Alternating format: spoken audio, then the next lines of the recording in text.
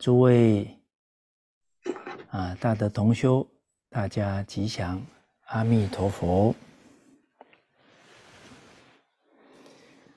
啊，我们啊，上一次啊，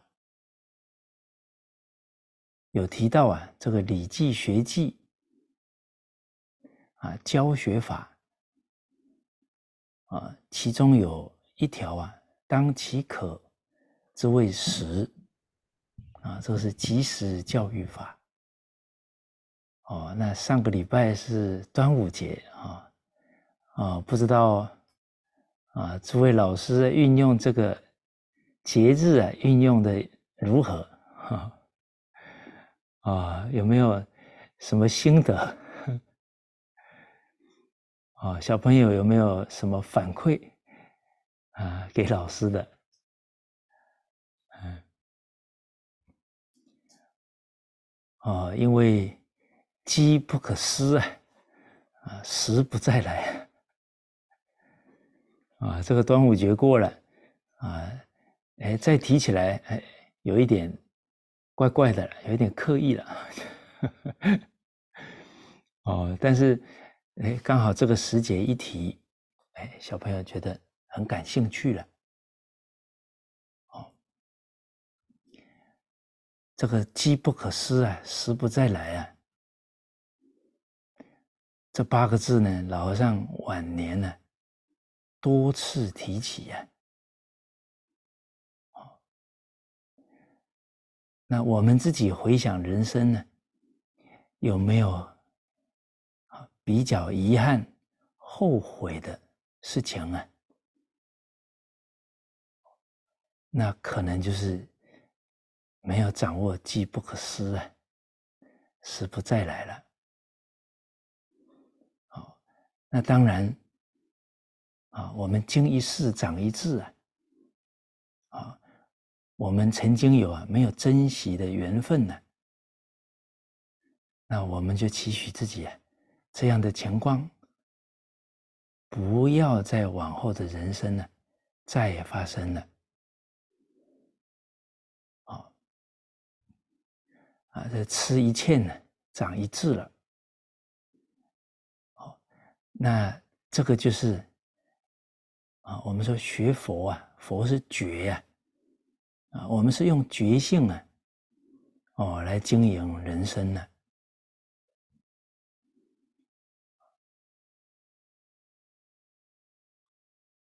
上一次我们也有提到，啊，哎，我们学习啊，比方一个留名青史的圣哲人呢。哎，我们学完之后，哎，这个主人翁的精神呢，就跟我们的身心啊融为一体了。哦，哦，那像屈原啊，屈原写的文章，“路漫漫其修远兮呀，吾将上下而求索。”哦，那屈原这种。爱国爱民族的精神，哎，有没有跟我们身心融在一起？啊，哎，我们希望，能够啊启发孩子的善根呢，来感动啊孩子啊。那首先呢，我们讲的故事得先感动自己啊。哦，那这样的故事。啊，传递出来的能量啊，是不一样的。哦，有口无心讲故事啊，哦，跟哎心心相印来讲一个圣哲人的故事啊，那那个能量场啊，应该是不同的了。哦，那。屈原这个精神呢，啊，对于我们走在学习弘扬传统文化的路上啊，啊，这个精神是挺重要的哦，啊，代表我们纵使遇到挑战困难呢，不能退缩，嗯，啊，要上下求索啊。哦，就像孔子说：“知其不可为而为之。”好，哎，这些圣哲人真的是留取丹心到照汗青哦。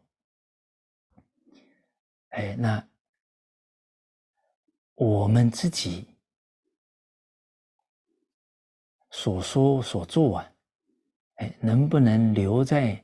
我们学生的心中啊，哦，那这个就是留取丹心照汗青啊，哎，照在啊这些啊年轻学子的心中了，啊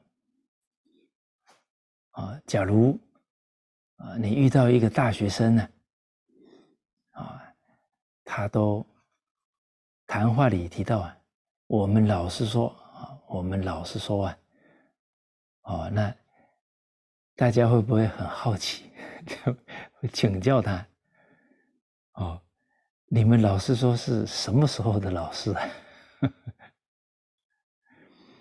哦，假如这个学生是说我们小学的时候老师说的，哦，那代表这个小学老师的话。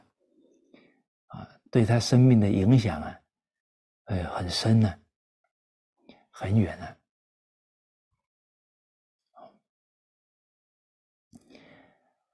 那我们啊，师长啊，曾经有教导到啊，啊，我们今天要弘扬出世法，也要懂世间法。哦，出世法是了脱生死轮回啊！但是也不能不懂世间法。哦哦，就像我们这几节课啊，探讨《弟子规》啊，入则孝，出则悌啊，接下来是景。哎，这属于啊啊为人子之礼呀。哎，怎么跟父母应对进退啊相处？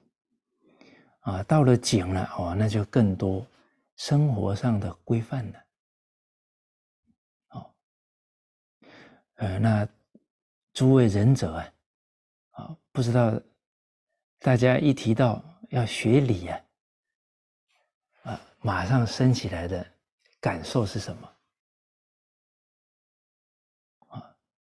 啊，又要来诓我了，又要来要求我了。哦，这这是一种先入为主的感受了。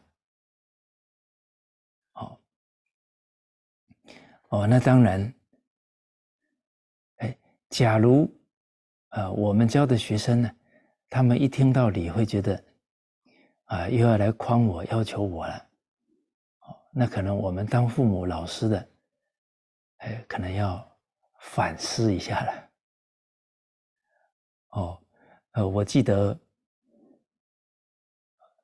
应该是零五还是零六年的时候，啊，去了马来西亚，呃，吉达州啊，啊，有办了一堂课程，哎，当时候遇到一位孔子的后代。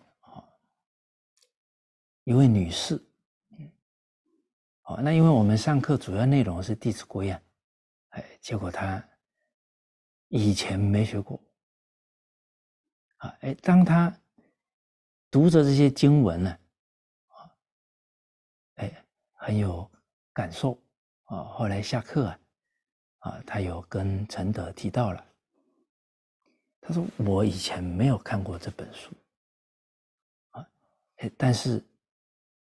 我读这些句子啊，我就想到我父母啊，我的这些长辈，在我成长过程中啊，哎，他们的这些行为啊，尤其是身教啊，所以他读起来很亲切呀。哦，他没有感觉啊，又又是来要求我的了。哦，所以师长曾经有讲过啊，啊，这个《弟子规》啊，不是要求孩子做的，啊，《弟子规》是我们当父母啊、长辈的人做给孩子看的。哦，那我们感受感受啊，假如是我们父母长辈做给孩子看的，哇，那这个德光啊，德行的光芒啊，哎，就触动孩子的善根哦。哦，他不止不会，呃，有压力，不会反感哦，哎，他会感动哦，啊，他会进而效法哦。啊，所以我感觉啊，我们现在修学啊，尤其身为长辈的话，啊，要放下这个控制要求的念头啊，这个太关键了。哦，啊，因为最近啊，啊，刚好跟同学们呢在交流四书。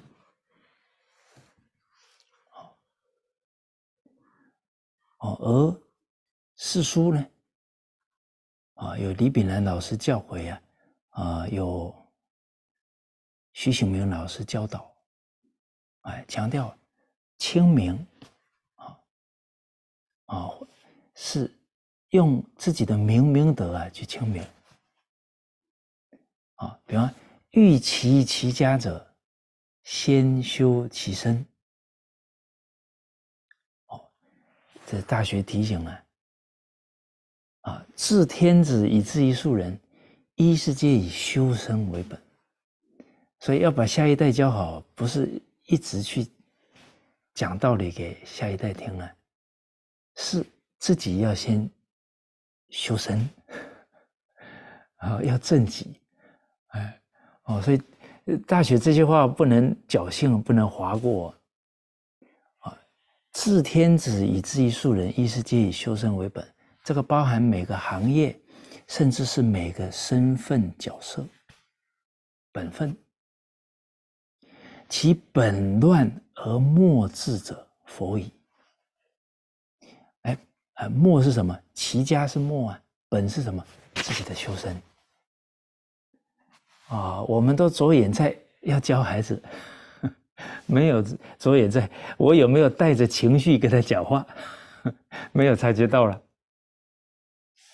哦，然后我们还在那里，哎呀，我的会都我都是为他好啊，他咋都这么没善根呢？啊，怎么检讨呢？都没有检讨到问题的根源呢。哦，所以我们这几节课也一直在跟大家探讨。哦，我们要经一事长一智啊！啊，到底这件事问题出在哪？我们都搞不清楚，我们怎么长一智啊？我们怎么避免下次不要再发生这样的事呢？大家有没有经验呢？哎呀，每一次跟我爸爸啊，跟我妈妈讲话，我都提醒，不能动情绪，不能动情绪啊！啊，怎么讲着讲着，我又火又上来了呢？好，你看，同样的问题一再、一而再、再而三的在我们的生命当中出现了，啊，那只会对人生呢产生，哎呀，面对境缘有无力感呢。我们应该是经一次长啊，经一事长一智啊。啊，呃，越来啊，越懂得把事情处理好啊，啊，把话讲妥当啊，才对呀。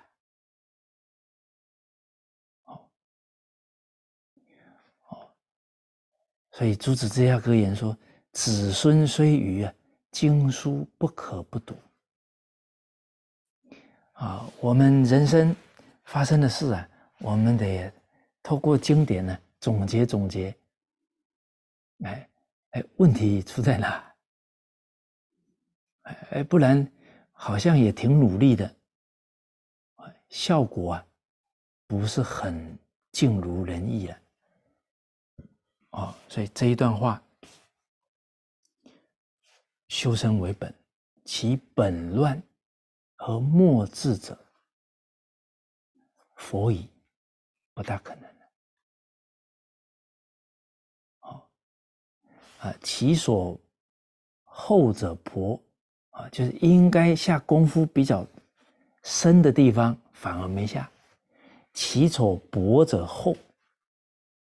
啊，比较不用下那么大功夫的，反而花了很多时间精力，未之有也。那代表这个事可能就不理想了，办不好了。哦哦，就像我们冷静在父子关系、在师生关系当中，哎，我们检查检查，哎。我花在讲人的时间多，还是花在我自己提升修身的功夫比较多呢？哦，哎，修身是本哦，啊，齐家教学是末，哎，那这样来思考啊，哎，我们的。本末先后啊，才不会颠倒啊！哦哦，那跟一般的大众啊，我们讲修身为本呢，啊，但是我们都是学圣教的人啊，啊，我们要引出《大学》另外一句话了，欲修其身者，先正其心；欲正其心者，先诚其意。欲成其意者，先治其知。治之在格物。哦，那我们修行呢，要以格物为本呐。啊，格物用佛家的话叫熄灭贪嗔痴啊。这是格物啊。哎，那奇怪，为什么大学要说？以修身为本呢，因为啊，要能看自己的念头那么细的，一般都是要啊深入经典的人呢，他才能认知到什么这么深呢？你一般老百姓啊、农民啊，啊，你跟他讲放下起心动念，这他有时候一听有点啊就。哦，哎，所以你看古古圣先王啊，他们在讲话的时候啊，体恤人心啊，非常的细致啊。比方礼不下庶人，哎，礼为什么没有下到要求一般百姓啊？哦，因为一般的百姓农民比较多啊。农民每天干什么？啊，这个早晨出去了，啊，傍晚回来了，身上啊，可能还很多土啊，哦，所以你这个礼的规范太多了，他不知所措了。哦，他的生活当中主要是跟大地为伍了。哦，你一般士大夫，啊，那。他在生活当中啊，细节给他多一些要求，这个没有问题啊。哦，哦，所以这个我们读古人这些教诲啊，哎，也要多去体会古人的心呢。啊，目贤当目其心呢，从心去学起。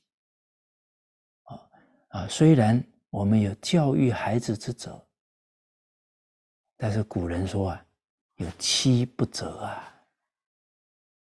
什么时候不要教训他？哎，你看这个心就很柔软了。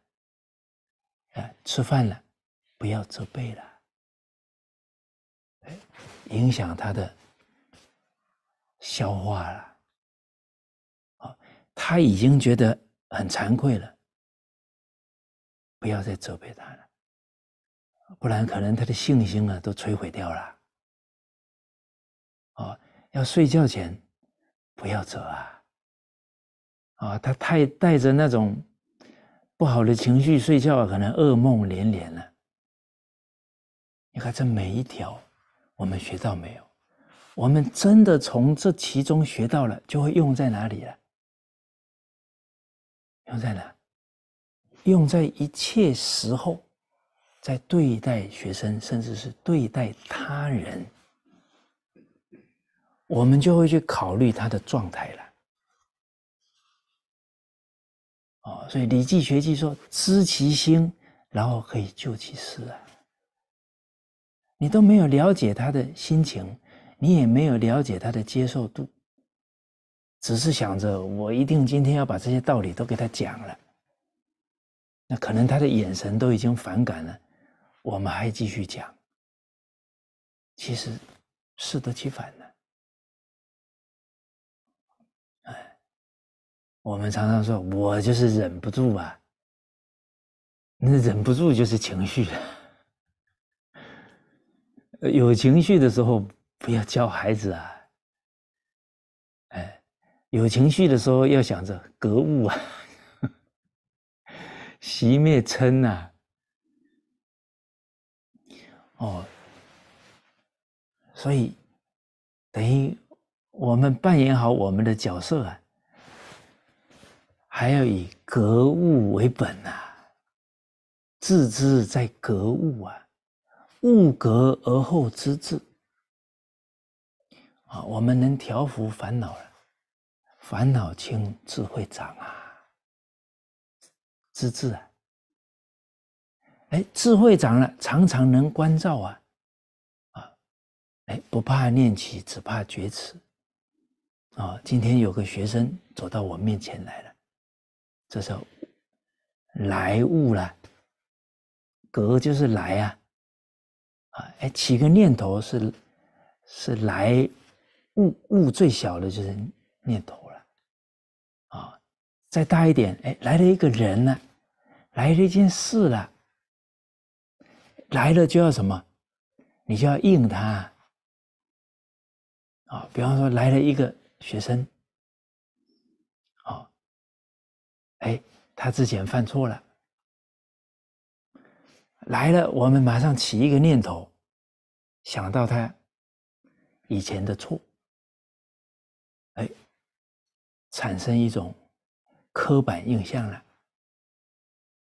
哦，那假如我们自知啊，啊，那这个就是有觉察，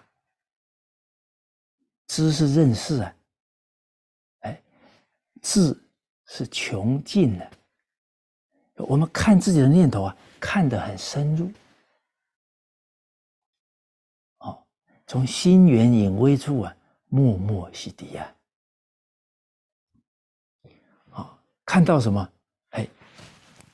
我这个念头啊，对他有成见了，事情都过去了啊，因为我对他有成见，就是戴着有色的眼镜啊，看这个学生呢。好，那我的心是有成见的，他也能感受到啊，这样的互动关系呀，那那是一种方向了。假如他犯错了。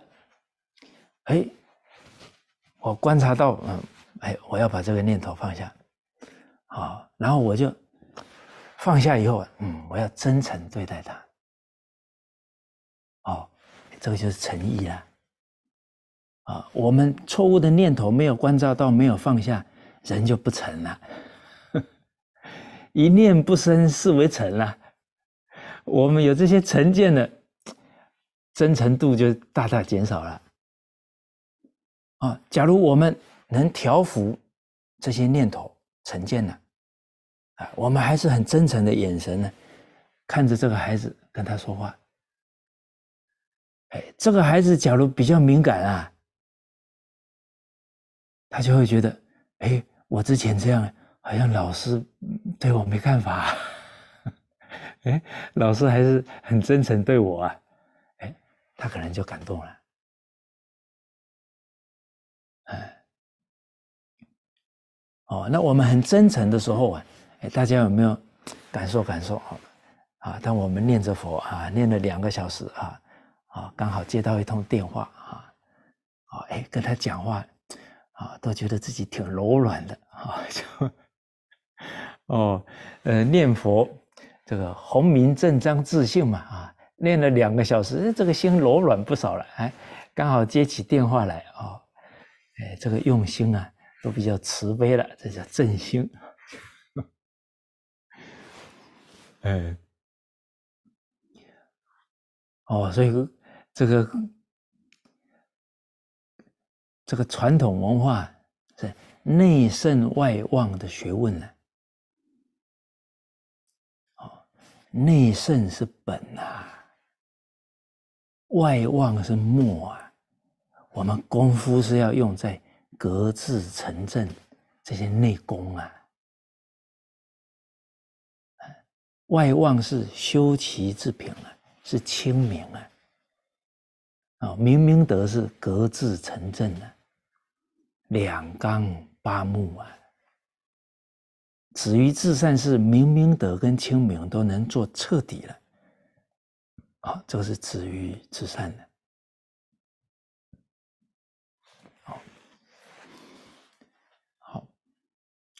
啊，刚刚跟大家提到，啊，老和尚啊有讲到，啊，世间法要懂，不然呢，你真正跟人相处啊，啊，基本的这种体恤呀、人情事理呀，都没有概念呢，那做出来的事会让人家啼笑皆非了。哎，比方，哎哎，今天我是讲课的人，我到了人家的道场讲课，我就要尊重人家的道场，尊重负责人了，而不是我想讲什么，我痛痛快快来讲啊。这个老和尚有没有教啊？有啊。老和尚说，他到了圣依法师的道场。禅宗的道场啊，啊，老和尚那时候专弘净土了，可是到人家的道场呢，赞叹禅宗啊。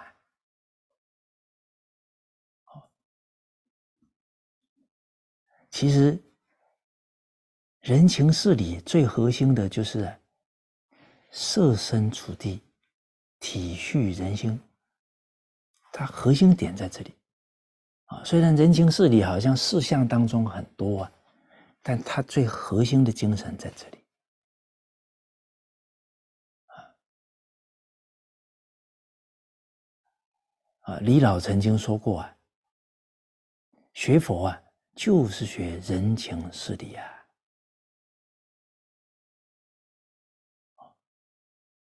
言语都包含在里面了。啊，前面跟大家提到了，啊，这个媳妇啊。跟婆婆讲话，讲的太直接了，效果不好啊！啊，讲话是啊，要含蓄啊，记太近了，话不要一下讲尽了，点到为止啊！啊，要委婉，记太直。要含啊，要仪式，记太真啊！你说，我告诉你了，你不听我的，你会完蛋的啦！你讲了，你真的会完蛋的啦！哦，你看，这听起来什么感受啊？你假如说，哎呀，你假如不注意这些哦，可能会有状况哦。你再思考思考，考虑考虑。大家看哪个接受度高？哎，啊，哎，我这个人讲话就这么直哈。你说这个讲话是要站在对方的角度啊，不是站在自己的角度啊。首先要要求对方，你要接受我的直啊，我就这么直啊。我们假如没有读过啊，这些格言别录啊、五种仪规啊，有时候也不懂啊，也没有注意到啊。哦，所以开卷有益啊。哦，当然，你不是去打开那些杀道淫妄的书啊，哎，是打开正知正见的书，尤其是老法师强调的书。我们时间有限呐，哎，该看的书哦太多了，都没时间看呐。啊，不过还是有时间看抖音啊。哦，所以人生重在啊取舍啊，把这些时间省一省啊，那还是 可以读不少书的啊。嗯，哦，所以李老这个话是讲的很严肃了，不懂人情，不懂事理啊，是佛呆子啊，是书呆子啊。会伤天害理的。我们怎么学学正法，学到伤天害理去了？学到坏事去了，把事情给搞砸了。哎，哦，所以这个我们都遇过啊。讲课的人，啊，哎，这个执理费事了，哦，所以我们现在修学最难的难什么？不产生执着点，这样才是《金刚经》说的“因无所住”。一有执着点呢，这个心就会偏。哦，尤其那个执着进来了。谁讲都不听啊！哎，好，比方啊，我们今天讲课了，啊，就执着。老和尚说尊重老师，一分沉静得一分利益，十分沉静得十分利益。哦，然后说你们呢，要不要亲自来接？啊，要不啊？要租一辆计程车来接，表示尊重。其实说实在的，讲课的人这么讲话，已经怪怪的了。讲课的人最重要的心境是什么？中恕之道，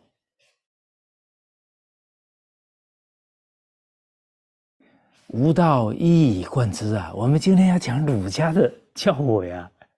儒家所有的教诲贯在哪两个字啊？忠恕。恕是什么？如其心，推己及人。我们先要替他设想，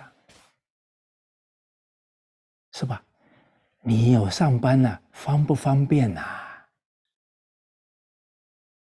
而不是马上一分沉静得一分利益啊。道理就压过来了，人能弘道啊！我们讲学的人的心境跟中术相应了，叫弘道啊！不是在台上讲的天花乱坠，下了台人情事理也不知道。哦，那造成这个听的人都觉得。What happened？到底怎么回事啊？怎么会这样呢？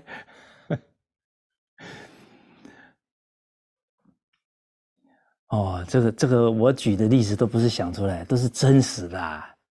结果呢，他一讲又讲，讲两个月啊，下次人家不敢要他来了。哦，这信众赚钱也不容易啊，是血汗钱啊。哦，还有，啊，讲课在台上，会长啊，你太吝啬了啊！老和尚说越施越多啊，那送东西怎么送那么一点点呢？哇，这个人情世理都不懂啊！你到人家的地方，那会长是主人，你首先要树立人家主人的威信吧。就好像今天你到人家家里吃饭，啊，他的孩子都在，你会说。你会对着他他的孩子说：“哎，你爸真真差劲啊！哇，那那你这 哦，那你可能下一次人人家不可能再约你去了。哦哦，所以这些体恤人心啊，什么时候教啊？就是大学再来教。”来不及了。哦，你看以前的人为什么十几、十八岁可以做县长？那那么多百姓哎，他得照顾啊。哦，所以老和尚常说一句话：“能齐家就能治国啊。”以前的家是什么概念呢？少则七八十人。多则两三百人呢，他在里面都在学习啊。啊，孝者所以事君也，悌者所以事长也，慈者所以始众也。因为治家跟治国的理呀，它是相通的。哦，哎他一孝做忠啊，哦，哎，他懂得尊敬家里的长辈了。他去做县长的时候，他一看到长辈，他那个心境就上来了。啊，慈慈爱始众啊，重视民众啊，百姓啊，始呢，啊，你要给百姓派工作。啊，因为有一些公共工程呢，需要百姓的力量协助。使民以时啊，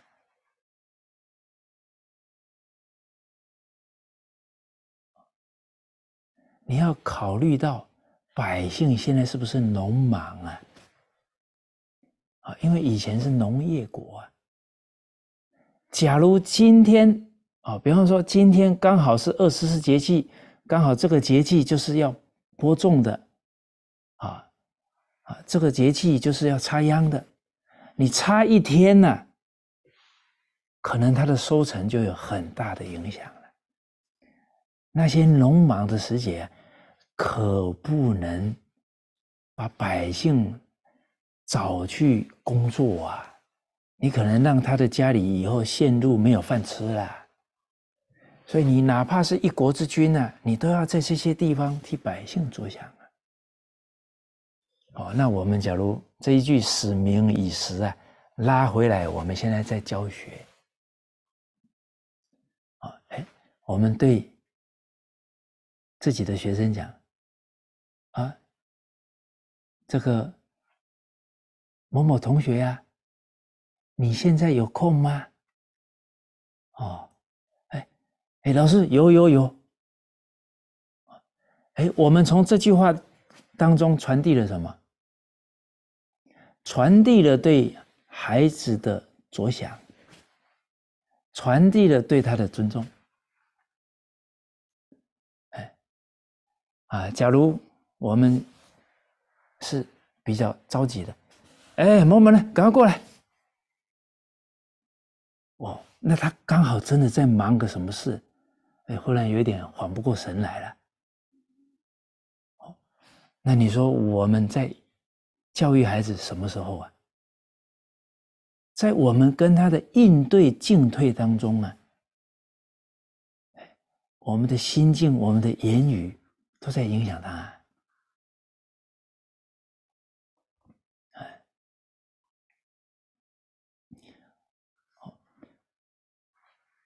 哦，所以这个师长提到啊，世间法还是要懂。介绍了三套书，啊，所以诸位仁者，啊，我们时间不够用了啊，好多书要看的啊，哎。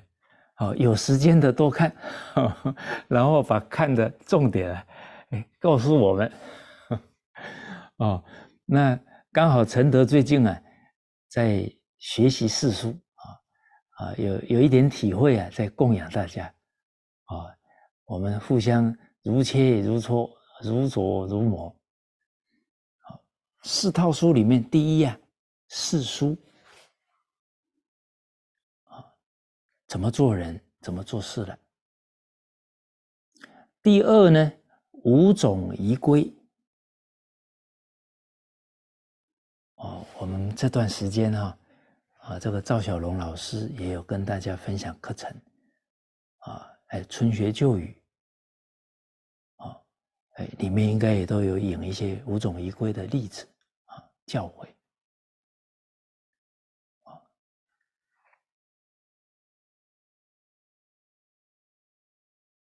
老和尚曾经有说过啊，五种仪规呢，跟群书之要的分量平等。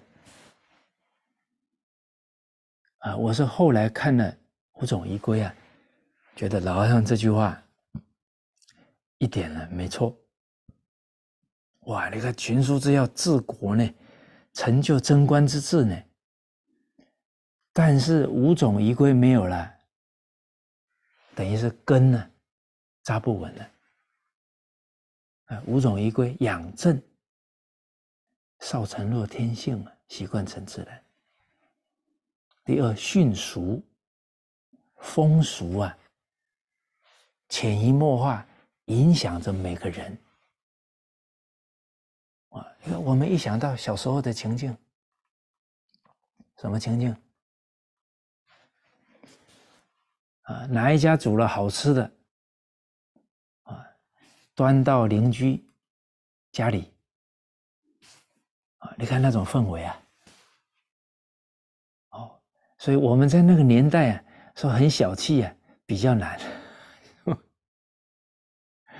哦，哎，自己家里有好吃的，来来，赶快端去给谁谁谁啊，哪个叔叔，哪个阿姨，这就是一种社会的风气了。哪一家有喜事了，一起去帮忙，丧事。也是一样，啊，哇！那现在，假如住在大都市里面呢，啊，连对面的人姓啥不知道，这种社会的情况啊，哎，哦，当然了，有心的人呢，在目前的现实状况啊。都能有应对的方法啊！这我们也要有这个信心哦，不然说啊，没办法了啊，那是把责任全部推到境界上面去了。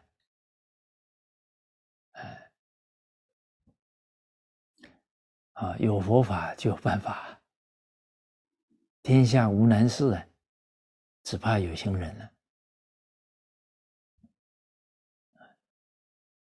啊，这是训俗。第三呢，教女仪规。啊，天下之安危，女人家操之一大半。啊，李炳南老师说了，一个人的成就、人格的成就啊，一个家庭的成就，女子占百分之六十，男子半占百分之四十。哦，不是说男子没有责任啊，也是很有责任的啊。但是毕竟啊，三岁看大啊，从因缘法来观察事物啊。一个孩子出生三岁以前接触谁最多啊？我看大部分的人应该都是妈妈了。那受妈妈胎教三岁以前身教的影响最大的了。哦，还有从政仪规啊，哎，父母官呐，它影响这一方的风气呀，啊，这个在历史当中啊，很多啊，啊，有一个人叫文翁，啊，他是庐江舒城的人，啊，桐城派，啊，庐江汤池。啊还有这个舒舒城啊，桐城、舒城、庐江啊，这三个地方。啊，所以江这个是江西呀，呃，这个是呃安徽舒城，他被派到啊四川当官，哎，可是他很重视教育啊，啊，哎，他把。比较基层的官员啊，送到北京国子监去读书，培养他们。哦，又把当地官员的小孩啊召集来念书，啊，念圣贤书啊，然后自己呀，啊，他当当地很高的官呢，啊，他出去办事的时候啊，哎，带着。啊，这些年轻的官员，或者是官员的小孩，手把手带他们呢。哎，这些基层官员从北京回来，哎，学了很多四书五经这些为政之道了。哦，后来当地啊，政治办得很好。哦，连北京啊，哎，他们送的学生呢。哦都觉得素质很好啊，啊，都很欢喜，他们把官员送的送来进修啊，读书啊。一个人的力量啊，不会小哦。虚空非大，兴亡为大；金刚非坚，愿力最坚呐。啊，五种仪规的作者陈洪谋先生。这个是雍正时期的大臣，他去世之后一百多年了，他曾经在江西当官，后来一百多年后啊，这个官员去上任，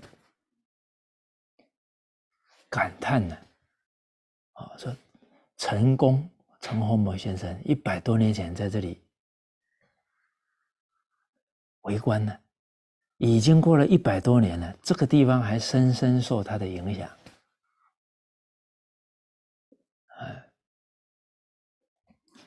哦，所以我们这个，假如是当学校干部啊，当校长啊，哦，很可能你你把爱心用在教育上啊，有可能这个地方都受你的影响。甚至你影响他两代人，哦，从政仪规、在官法纪录，啊，很多这种为为官清廉爱国，哎，后代非常好，啊，积善之家必有余庆了，展现出来，啊，这第二套书了，四书五种仪规。第三呢，啊啊是啊，这个书是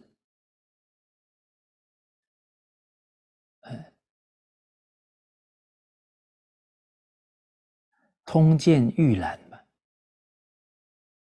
哦，就是给皇帝看的这些历史，因为有时候啊。二十五史啊，或者多少史，这个分量大，哎，给皇帝看，啊，甚至皇帝还会什么下一些批注，啊，其实读历史是蛮重要的，读经啊，让我们明理；读史啊，哎，让我们有见识，啊，让我们呢。能体会到这些圣哲人，他在每个朝代呀，他怎么把四书五经啊用在齐家？啊，历史里面谈这些人物啊，哎，会谈到他怎么齐家的，啊，哎，会谈到他怎么为官的，啊，那就看到他们怎么用在家庭、用在事业当中，啊，用心去看呢，会得到很多的启示啊，啊，好，那个。啊，比方举一个例子，啊，王旦，哦，那这个王旦当宰相的时间呢，在宋朝算最长的了。那当时候是宋真宗在位，啊，结果。这个王旦呢，都赞叹寇准；寇准呢，都批评王旦。结果这个宋真宗啊，听多了，有一天他实在忍不住了啊，他就跟王旦说了：“卿啊，你都赞叹寇准了，寇准都打你小报告啊！”好，哎，结果寇准说了。皇上啊，我当宰相那么多年了，这个不妥的地方很多啊，哦，所以王旦是为国啊，哦，所以他把我这些不足啊挑出来了，哎，大家想一想啊，寇准以后听到这番话会怎么样啊？这些圣哲人是，他做到让对方自然感动，或者自然生惭愧了，不是讲道理让他生惭愧的。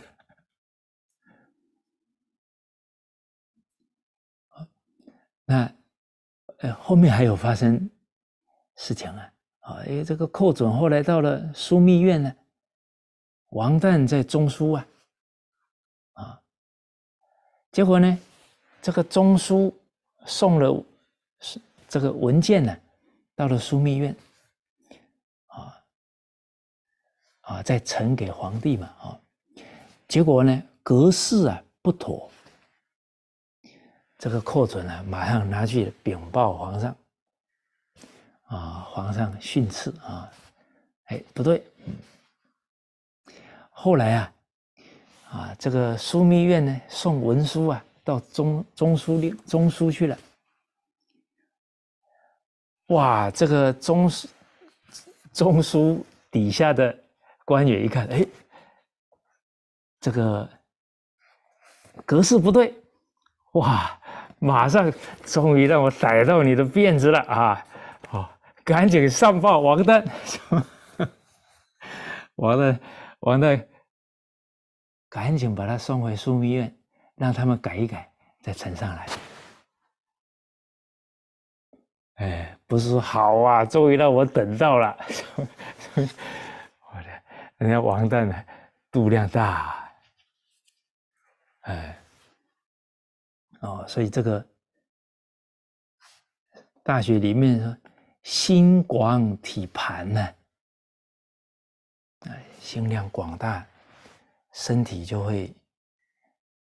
哎，看起来比较有福报相，嗯，哦，所以这个啊，我好像喊要胖起来，已经喊了两三年了啊，啊，到现在还没有结果啊，还是要君子务本啊，本还在扩宽心量，本不在多吃多一点，嗯，所以这个明理还是很重要哈。哎，这最近比较有研究大学啊，心广体盘啊，终于找到根本问题了。哦，所以每天要回向啊，老和尚说回向叫扩宽心量。哦，哎，总要有用方法来扩扩宽心量啊。那这个后来又发生了，寇准呢，啊，刚好从一个工作啊卸下任务了，啊，正等待下一个安排啊，他居然跑去跟王旦说啊，你推荐我做宰相吧，啊，可能这个寇准也是很直的人呢，哦，就王旦说。这个，呃将相这这样的位置，不能是求要求来的。那寇准当然不是很欢喜的，就走了。哦，后来过了几年呢，这个王旦呢走了，啊，哎，这个寇准呢，哎，刚好皇帝啊安排他他的那个职位啊，跟宰相位差不多了。哇，他就去谢皇上啊！哎呀，皇上恩恩恩德啊，哦，隆恩呢。结果皇帝跟他说了：“是王旦推荐你的。”哦哦，我想寇，我想啊，寇准最后他当宰相当的挺不错的哈。我想不会少了王旦给他的感动。哦，所以为什么这个宋朝能出这么多好的文人，甚至是好的宰相？他最开始这几个宰相的 榜样做的太好了，让后世这些文人都以他们为榜样。你看王旦、王真，哦，所以难怪现在姓王的人口占九千万啊。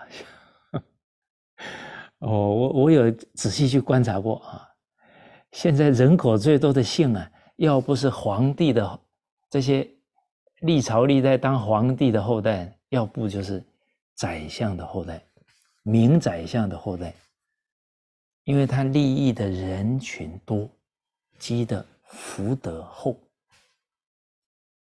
啊，都没有偶然的哦。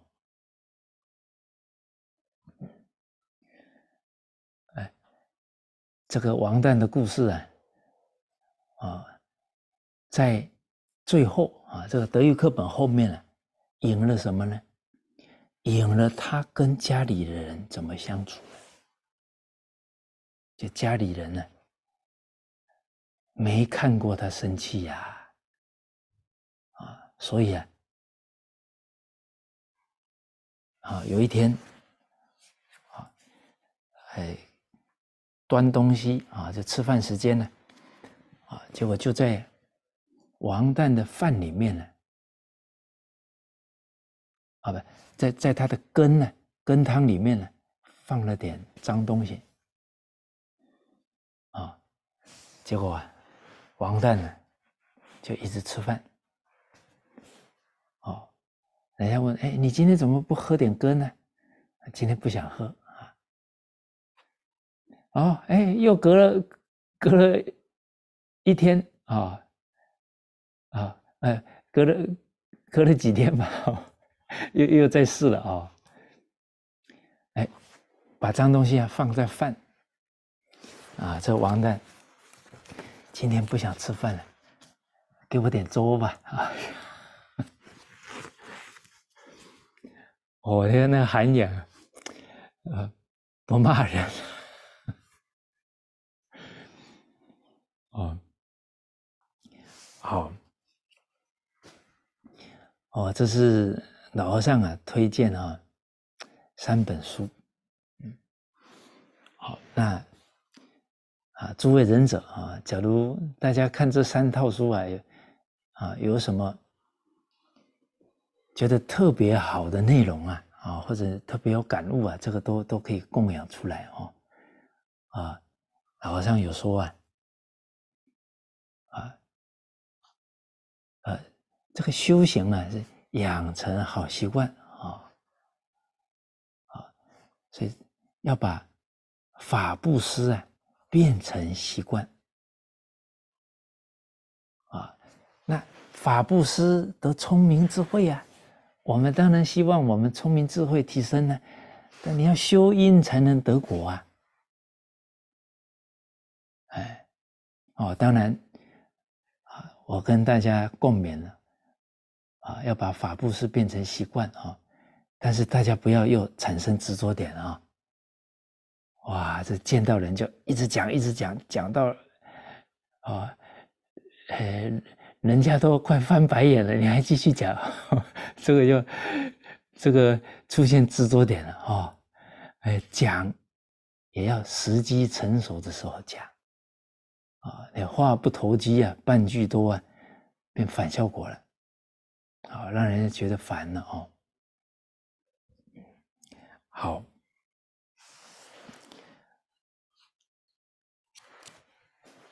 哦，那跟大家提到啊。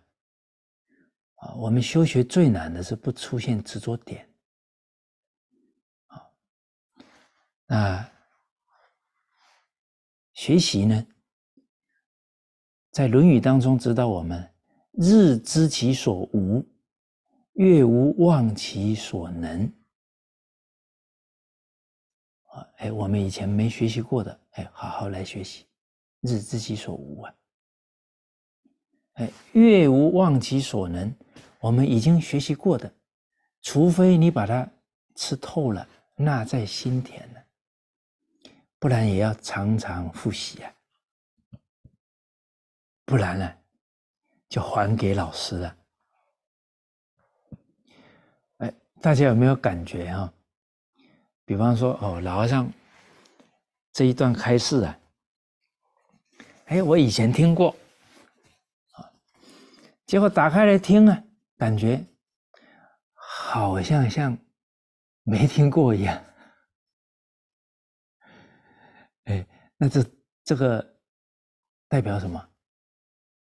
代表我们现在的学习啊，听一次啊，能留下百分之二十的印象啊，算不简单了。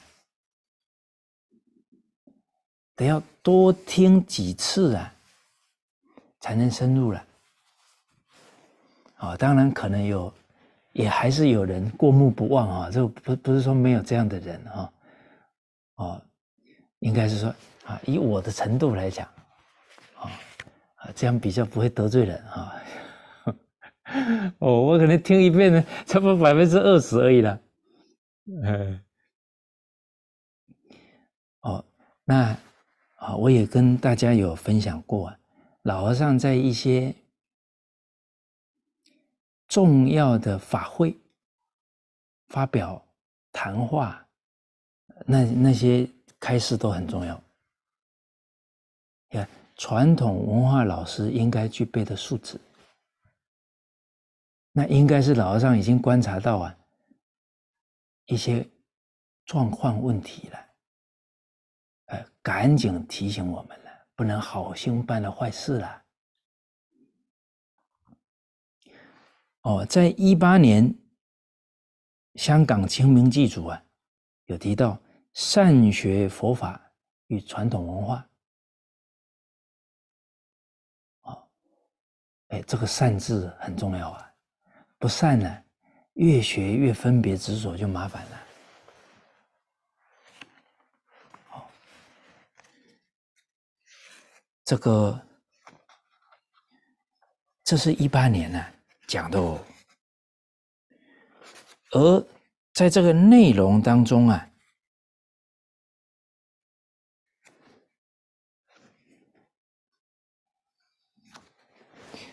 啊，师长啊，比方我给大家举一个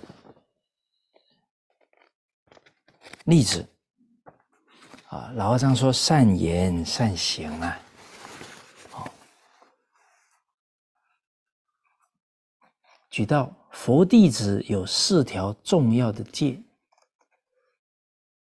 啊，不谤国主，不做国贼，不落国税，不犯国制。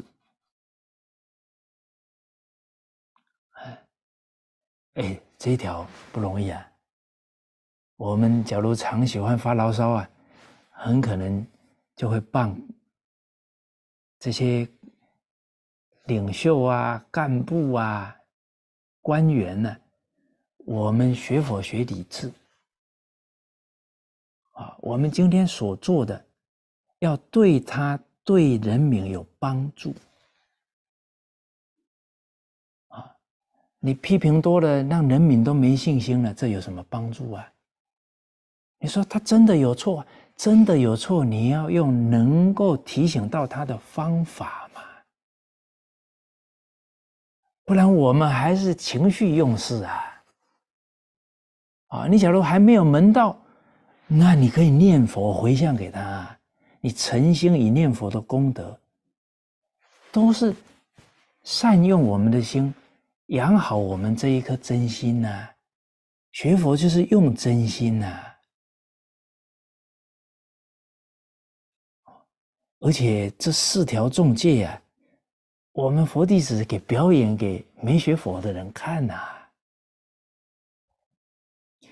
你看师长那时候就说了，这四条没有做好就不善行了。啊，有人问我环城绕佛活动是否如法，我告诉大家不如法。为什么不如法？你违背国家的法律就不如法了。啊，国家法律明文规定，在宗教活动场所之外，不得以从事集体宗教活动。你还搞浩浩荡荡的环城绕佛，那违反了法律了。哦，你为什么跟政府作对呢？哦，那这个是大不敬了。哦，你看。一冲动了，都没有顾及到这些戒律了，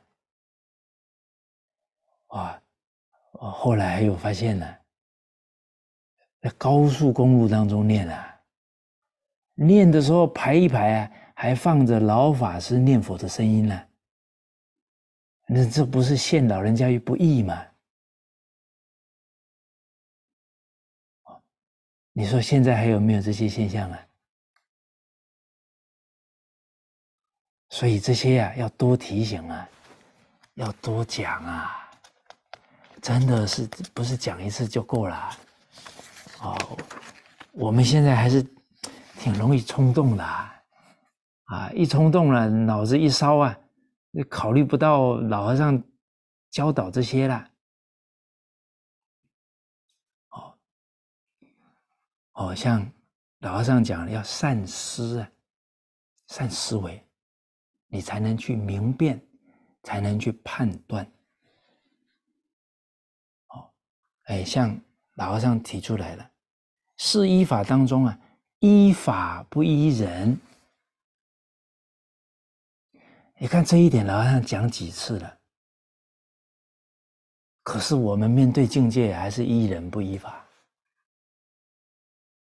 在末法这一条是太重要了，末法时期啊。邪师说法如恒河沙，你没有这个警觉性了，可能就被误导了。哦，老和尚讲，我们学佛不是盲目崇拜个人，一定要用理智，要依教理为准。啊啊，我说过啊啊，老和尚说了。啊啊，自己是个凡夫，连出果须陀含呢都没达到，所以不能对我盲目崇拜。我赞叹过一些人，哦，你不能说老和尚讲讲讲了，哇，你都没有去判断了，就很激动了。那是因为他们有可取之处。我只赞叹他们那部分的优点，并不是我给他们印证。我从来不给人印证，这是老和尚讲的哦。所以现在，假如网上有谁说啊，老和尚给我印证什么，那你要小心了啊！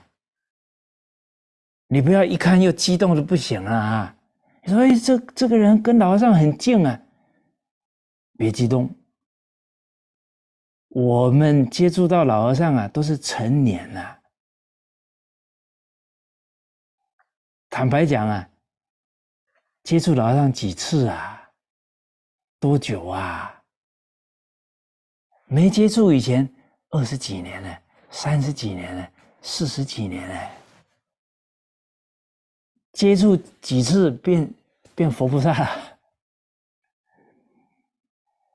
我们都得把这几十年的习气转过来。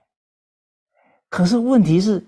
内有习气，外在的财色名利啊，那比一百年前百倍、千倍啊，那个拉力是很大的。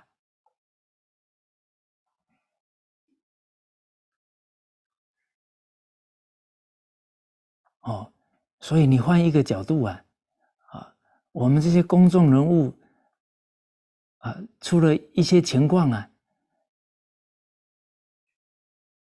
那也，好像我也不能自己说很正常哈，因为我也算公众人物。哦，这个这个台阶要别人给，不能自己给台阶的，所以我讲到这里有点顿呆哈，好，有点嗯啊，呃，这个哦，我们现在是客观分析呀。不然有时候我们会觉得，哎，那他跟老和尚这么近啊，啊，那怎么他可以这样呢？哦，那有可能，假如我们对这一件事无法释怀啊，这件事就会造成心理的阴影了、障碍了。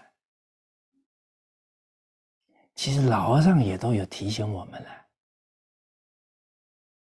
哦老和尚说了，跟我十几年、二十几年，在财色名利面前过不了关，这不能怪他们，因为啊，他们不是从小学的，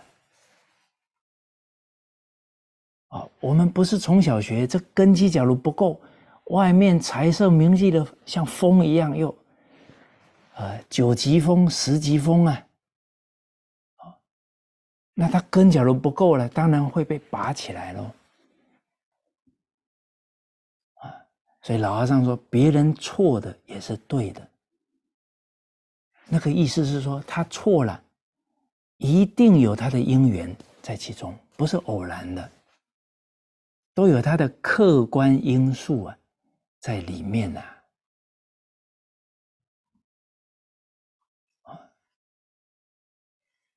哦，所以这一些提醒啊，真的不能忘了。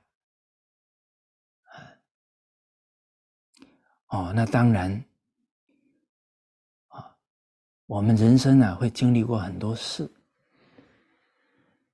可是过去的事啊，假如耿耿于怀在心中啊，会影响我们当下跟未来。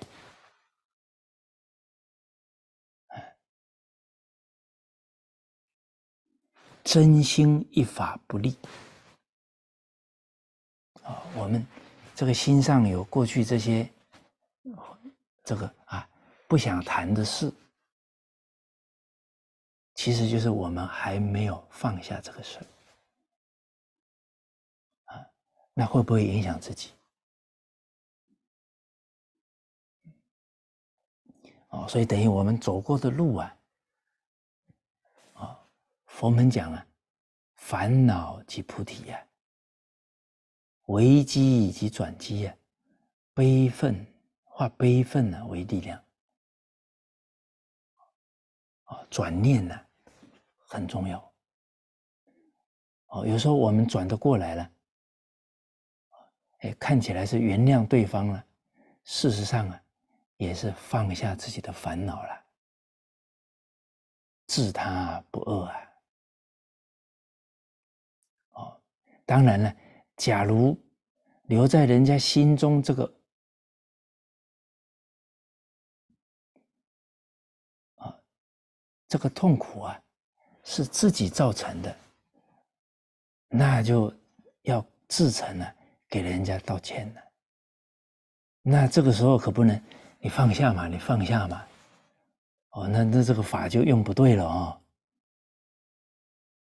哎，那是要发自内心，哎呀，是我智慧不够啊，我这个态度不对啊，造成了你的伤害了。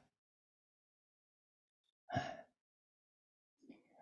精诚所至啊，金石为开呀。我们真的真诚了，可能就化掉彼此的啊。那个隔阂了，啊，那个坎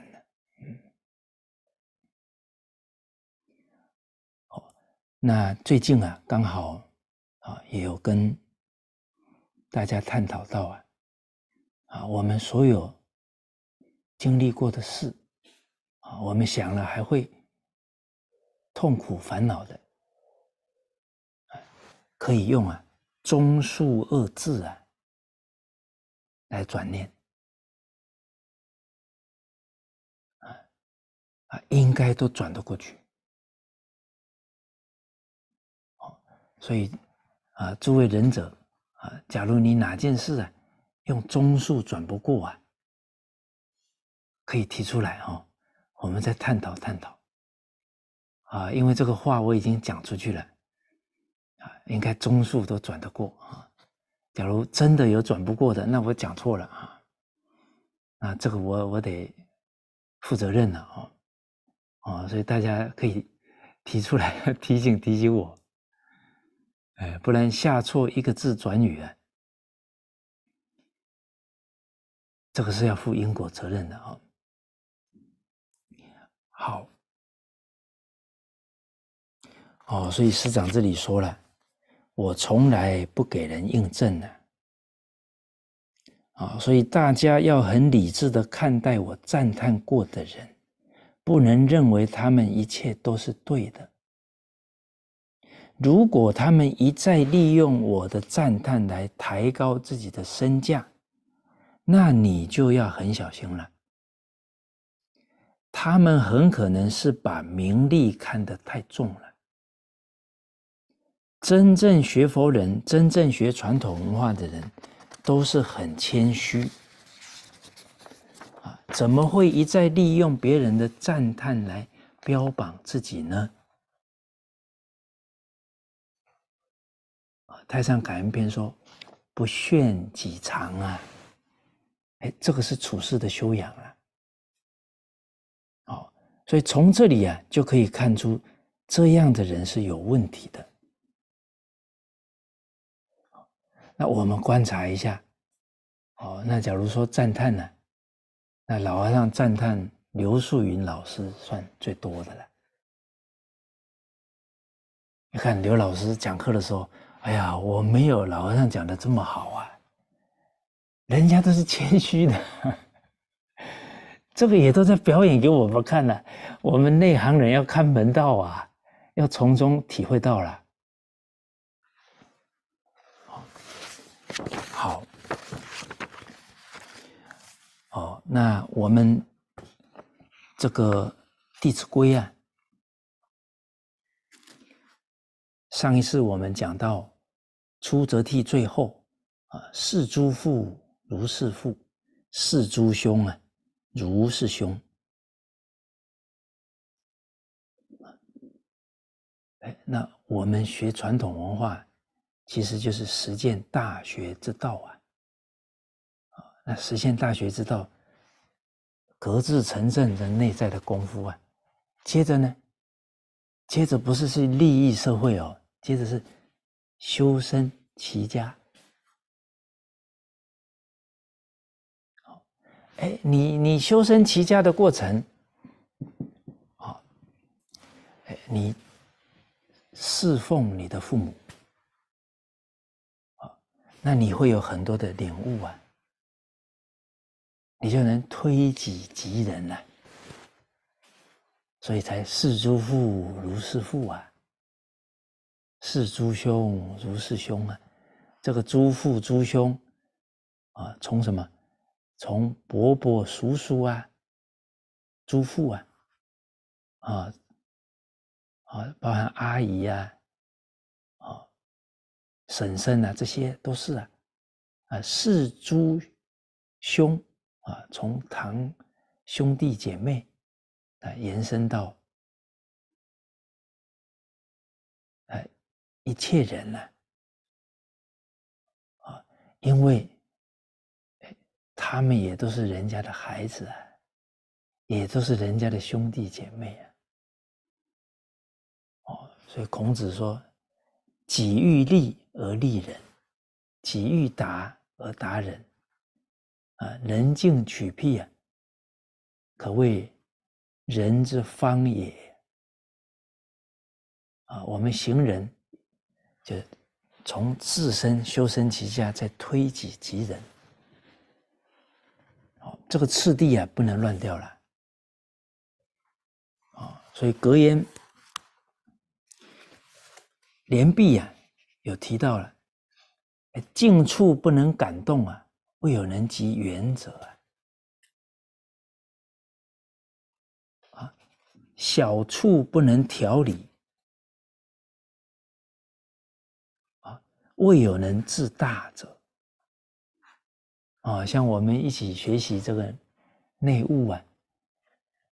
啊，上一次皮小坤老师啊讲的，啊啊，其实也是落实《弟子规》了啊，治官府有定位啊，啊，房事清，墙壁净啊，积案解，笔砚正啊，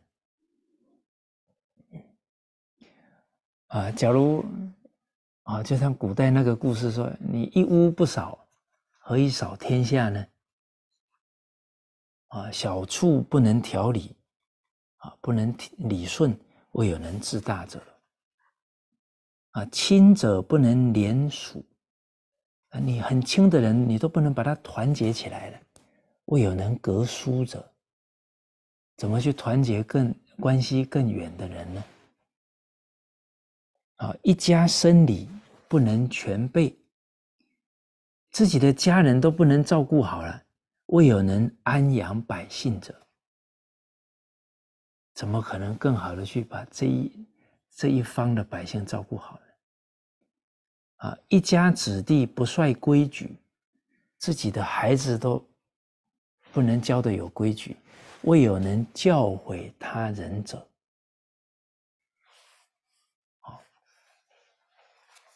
哦，所以这个。推演开来啊，还是从修身齐家推演开来的。这个本跟末啊，物有本末啊，事有终始啊。知所先后，则近道矣啊。这个终始啊，也不能搞错了。大学提醒我们了。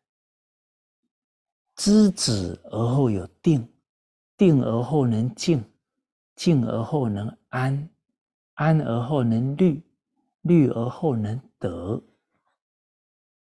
得到什么？得到让自己跟他人呢都能提升的方法。啊，比方你在考虑事情了，嗯嗯，这样做好，这样做啊，随缘妙用啊，随这一件事啊，这个缘呢，妙用用在哪？用在透过这件事呢，我自己德行提升了，心境提升了，在这件事相关的人呢，他们也都有感动了，他们也都有收获了。看处理一件事，就是落实明明的，落实清明，不然道在何处啊？大学之道在哪里啊？在讲的每一句话里面啊，道也者，不可虚于理也。今天我这一句话控制住情绪了，我就在这个讲话当中提升了，而。我没有带情绪的言语出出去了，清明啊，利益对方啊，啊，有时候不是言语啊，眼神，哦，啊，我忍住成见了，我的眼神是真诚的，是信任的，我自己提升了，啊，对方接触到这个眼神呢，眼泪掉下来，受鼓舞了，清明了。所以菩萨道、大学之道啊，没有离开我们的生活工作啊，没有离开我们的一言一行啊。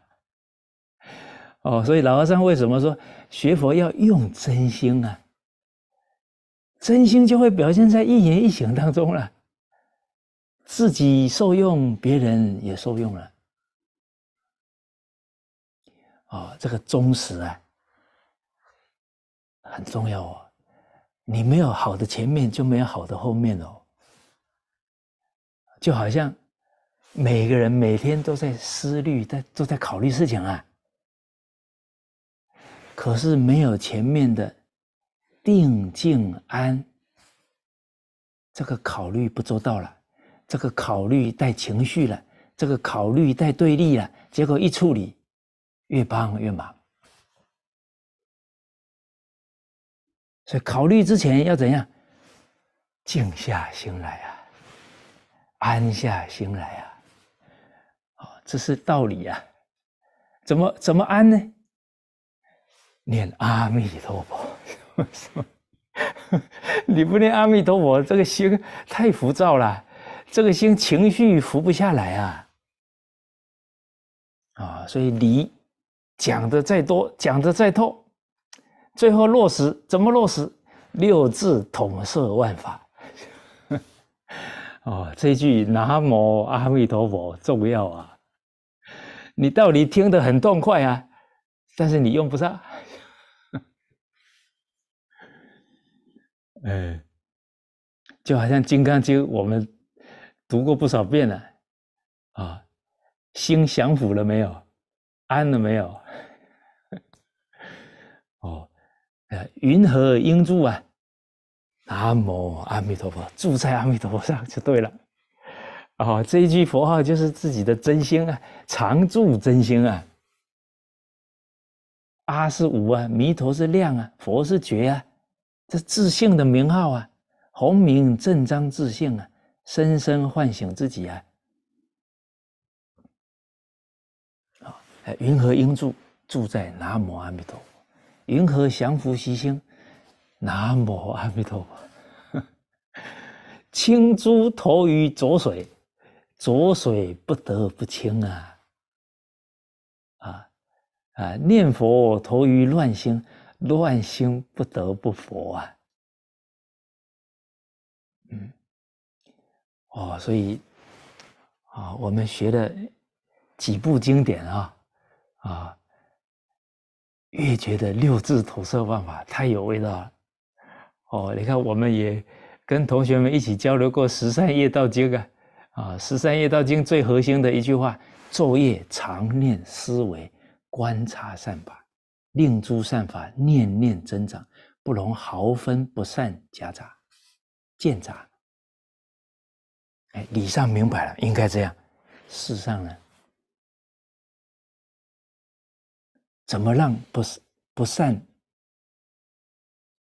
夹杂在我的念头里面？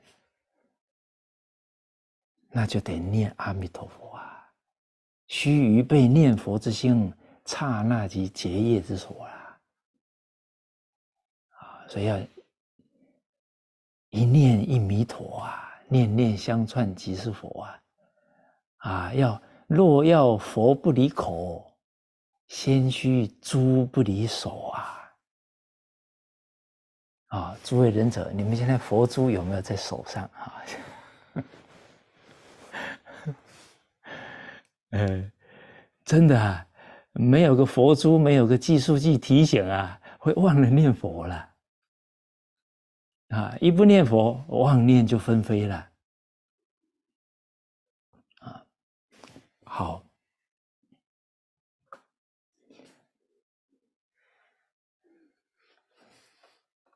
哦，那这个当然啊，《大学》讲的这个修学的方法，定静安律的前面是什么？知止。所以对自己最重要的是什么？发愿呐，止于至善呐。你看佛门的修学次第，众生无边誓愿度。为什么我们修学进进退退，菩提心没有发出来啊？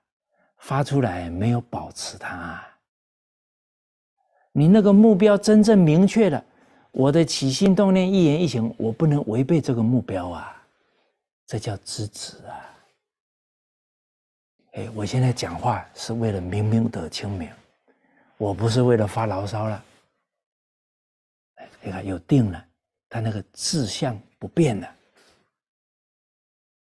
定而后能静啊，心才静得下来了。啊，你定久了，心就静下来了，都往这个目标走了。世间五欲六尘就不容易干扰你了。哦，不然每天啊要吃这个，要玩那个，是吧？你心怎么静呢？啊，静了才能安呢。才能安住当下，心常常静不下来，很浮躁啊，这个很难安住当下的。啊，为学第一功夫啊，降得浮躁之气定了，啊，安而后才能虑啊，深思熟虑啊，正思维啊，啊，虑而后啊，能得了。哎，都想到很好的方法，很圆圆融的方法了。哎，好，啊，那我们呃，接下来啊，要再交流这个景哈。啊，今天时间到了啊，啊，景这个部分呢，啊，是《弟子规》里面呢内容最多的。谨慎，谨慎呢。这个“慎”字怎么写？真心啊，左边，哎，一个竖心旁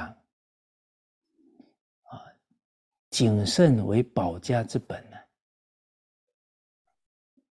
谨慎不只是保家，也才能保住我们的法身慧命啊。